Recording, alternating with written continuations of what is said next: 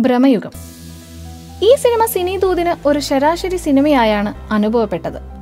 Dark fantasy horror thriller വിഭാഗത്തിൽ ഇറങ്ങിയ ഈ സിനിമ അതിന്റെ യോണറിനോട് ഒട്ടും തന്നെ കൂറു പുലർത്തിയിട്ടില്ല. അതെ ഈ സിനിമയ്ക്ക് ഞങ്ങളിലെ പ്രേക്ഷകനെ ഭയപ്പെടുത്താൻ കഴിഞ്ഞിട്ടില്ല.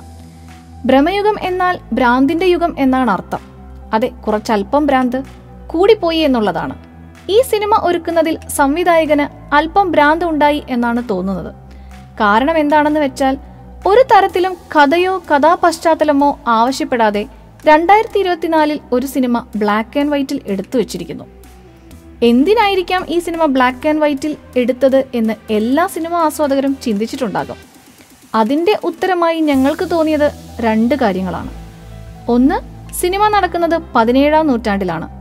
സിനിമകളിൽ പലപ്പോഴും പഴയ കാലത്തെ അടയാളപ്പെടുത്താനായി ഫ്ലാഷ് ബാക്കുകളിൽ ബ്ലാക്ക് ആൻഡ് വൈറ്റ് ഉപയോഗിക്കുന്ന രീതിയുണ്ട്. അതിനെ സംവിധായകൻ രാഹുൽ സദാശിവൻ തന്റെ മുഴുനീള ചിത്രത്തിൽ പതിനേഴാം നൂറ്റാണ്ടിനെ അടയാളപ്പെടുത്താൻ ഉപയോഗിച്ചതായിരിക്കാം. രണ്ട് പഴയ കാലഘട്ടങ്ങളെ അടയാളപ്പെടുത്തുമ്പോൾ ബ്ലാക്ക് ആൻഡ് വൈറ്റിൽ ഷൂട്ട് ചെയ്താൽ ആർട്ട് വർക്കിൽ കാലഘട്ടത്തിന്റെതായ വലിയ ഡീറ്റെയിലിംഗ് ആവശ്യമില്ല.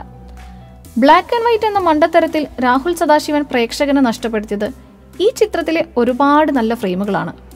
ക്ഷയിച്ച മനയും തോരാതെ പെയ്യുന്ന മഴയും പന്തത്തിന്റെയും വിളക്കുകളുടെയും പ്രകാശത്തിൽ മിന്നിമറയുന്ന അകത്തളങ്ങളുടെയും നിലവറയുടെയും കാഴ്ചകളും ചാത്തന്റെ വർണാഭമായ മുഖമെഴുത്തും വി എഫ് എക്സിന്റെ സാധ്യതകളെയും ഒക്കെയാണ് നഷ്ടമായത്. ബ്ലാക്ക് ആൻഡ് വൈറ്റ് ഏതു തരം സിനിമകളിൽ ഉപയോഗിക്കാം എന്നൊരു ചോദ്യം നിങ്ങൾക്കുണ്ടാകും.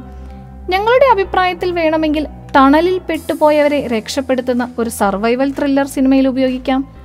അല്ലെങ്കിൽ കൈതി പോലെയുള്ള ഒരു മുഴുനീള രാത്രി ചിത്രത്തിൽ ഉപയോഗിക്കാം. അത് കഥാപശ്ചാത്തലം ആവശ്യപ്പെടുന്നത് പോലെ ചെയ്യാം.